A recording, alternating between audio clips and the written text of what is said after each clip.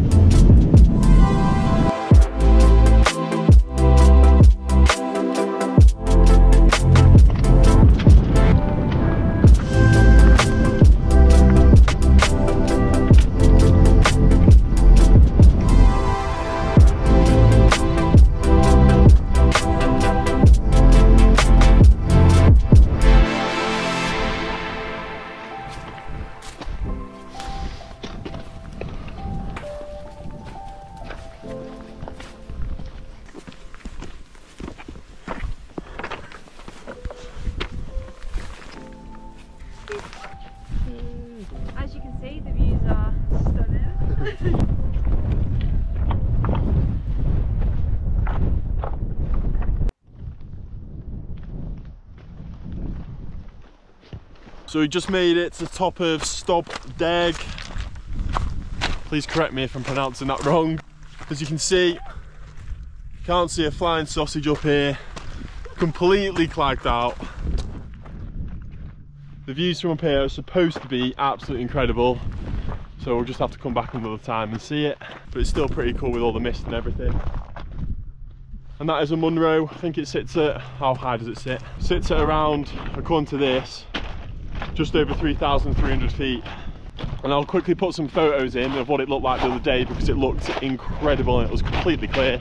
So I'll show them now.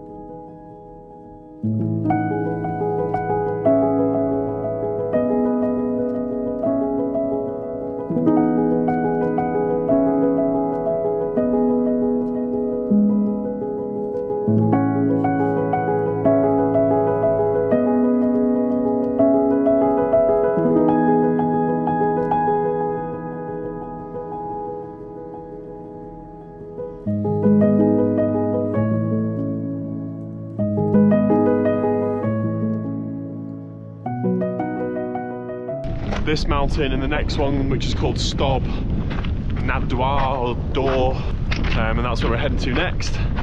Hopefully, the clag will clear a little bit and we'll get some more views. But yeah, overall, we can't really complain about the weather because it's completely dry and it's not that cold either. The other day there was snow on top of this mountain when we arrived into the Glencoe Valley, so yeah, it's a lot milder today. So yeah, really good so far. The climb up here was really simple. I've been really surprised with how good the footpaths are up here. Awesome route so far. I'll catch up with you in a bit.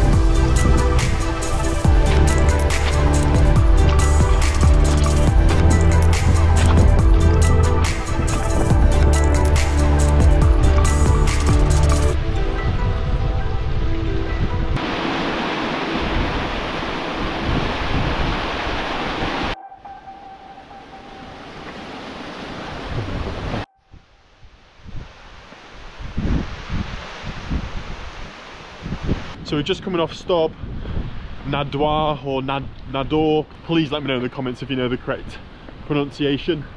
But it sits just up there behind us.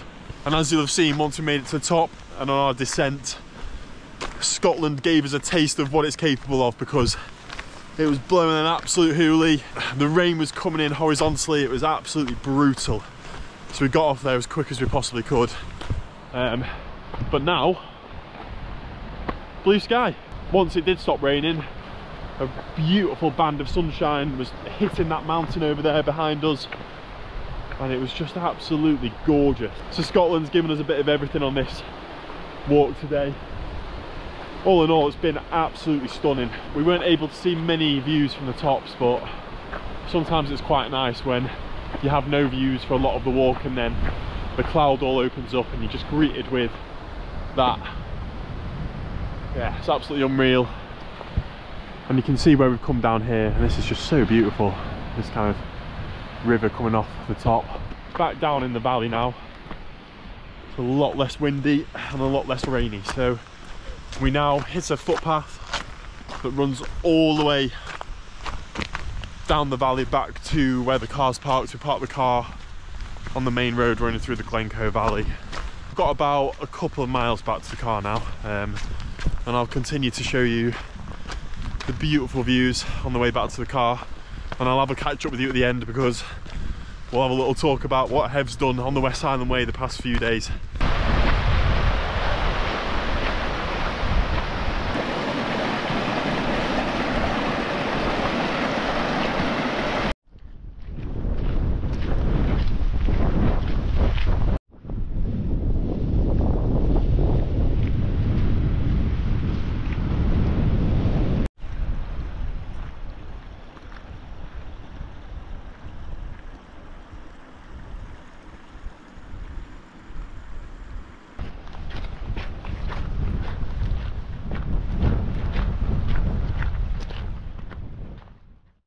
So as you can see, I'm now back in the Peak District.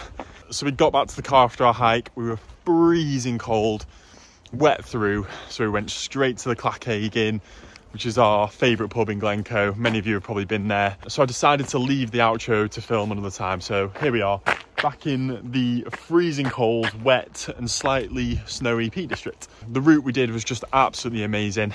When we got to the pub, we were told that the first Munro that we bagged was not called Stobdeg. It's actually pronounced Stobjerrig. So I got that one completely wrong, so I do apologise. But yeah, it was an awesome route. Scotland gave us a bit of everything on that hike. We had a bit of sunshine, we had clag, we had rain, we had wind, we had it all. It was a mega day out in the mountains. Uh, one we won't forget for a very long time. So, just a quick one.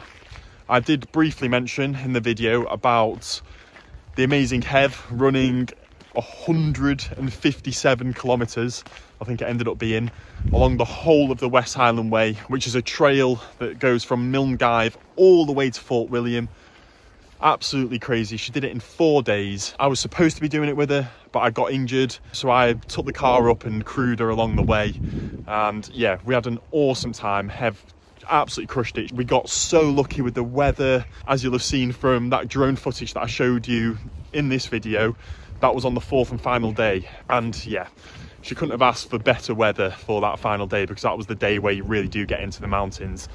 Um, so yeah, it was absolutely awesome. She did it all in memory of my beautiful mum who sadly passed away four years ago now. And we were doing it for the Christie Foundation, which did amazing work for my mum uh, throughout her illness. Um, we're currently on, I think, just shy of £1,700, which is just absolutely insane. We set ourselves a very ambitious goal of £2,000, so I'm hoping we can just crawl over that mark. Thank you so, so much for all of the donations so far. It really does mean the world. So yeah, I will leave the link in the description below if you if you did want to donate any donations, like I said, means the absolute world. She did absolutely incredible. Still hasn't really sank in for her yet because I don't think she quite realises how insane running over a marathon a day in the Scottish Highlands is because, yeah, that is just amazing. So please leave a message below, just letting her know. She's an amazing woman, she needs to know it. Yeah, my mum would have been so, so proud of her. Thank you so, so much for watching the video. Thank you for all of the likes, comments, subscribes. It really does mean the world. We've got loads of videos coming to the channel soon. But yeah, I'm gonna leave it here. Thank you so, so much for watching my first ever Scottish video on the channel. Loads more to come. And I'll see you in the next one. Cheers.